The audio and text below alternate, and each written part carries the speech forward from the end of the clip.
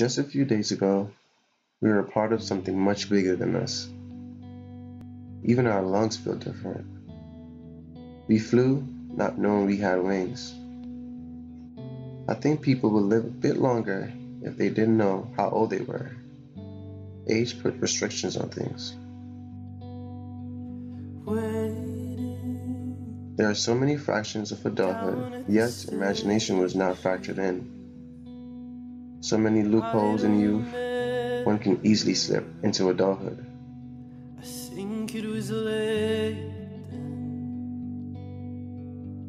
And although time celebrates a birthday every millisecond, we made sure our invitation was never overlooked. We danced, we ran, we loved. We grew to understand that life makes its own plans and leaves the details to us. Free, there isn't such. Even the memories we have are simply borrowed. I think it's all a matter of love. The more you love a memory, the stranger and stronger it becomes.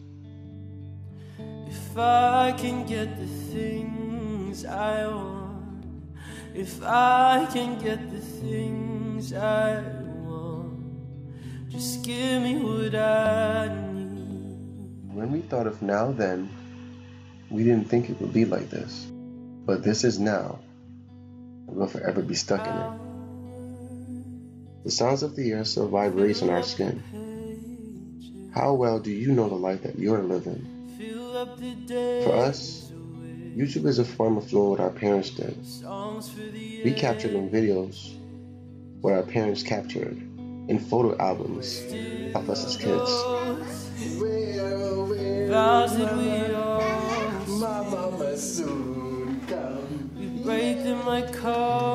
We are truly grateful to have these moments documented for Genesis. Hoping she'll love it as much as we did. That in her low moments, she can look at this someone to grow and feel consoled if our arms are too far to reach.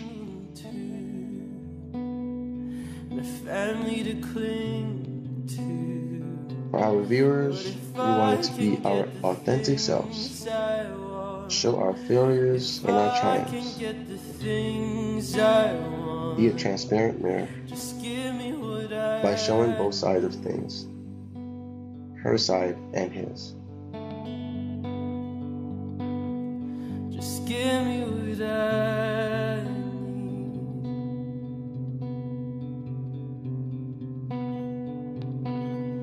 Just give me what I need.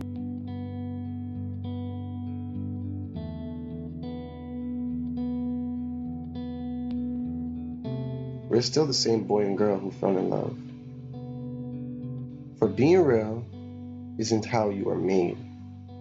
It's a thing that happens to you. It's who you become. Anyone can possess. Anyone can profess. But it's an altogether different thing to confess that even after all these years, we're still figuring it out together. Standing, always so quiet